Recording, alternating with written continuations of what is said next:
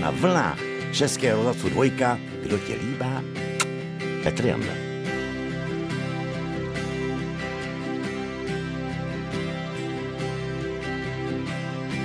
Kdo tě líbá?